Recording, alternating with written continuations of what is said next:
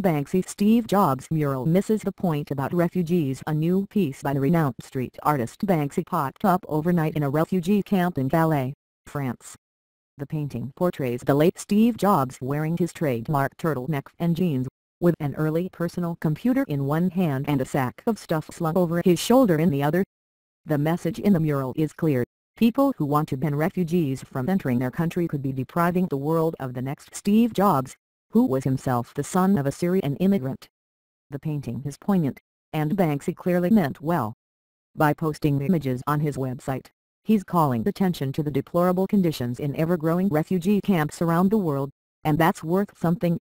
Still, in a lot of ways, the message Banksy's sending misses a crucial point about the refugee crisis. Yes, there are among the 60 million people fleeing war or persecution from Syria to Sudan plenty of people destined for the singular greatness that Jobs achieved. But there are also millions more who aren't millions of people who, like the rest of us, will not turn out to be the next Jobs, or the next Albert Einstein, or any of the other famous refugees whose names have been tossed about as proof that refugees are worthy of our help. Millions of ordinary human beings are suffering. They may not change the world, but they're no less deserving for it.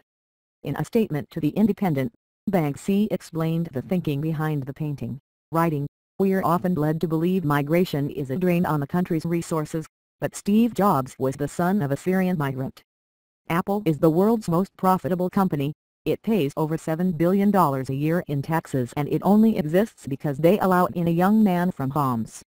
Such economic arguments are, of course, part of any immigration debate so I don't fault Banksy for trying to appeal to those interests. Still, I hope the world will rally to help the millions of refugees who are in need simply because they are in need, and not because they may someday invent the next iPhone.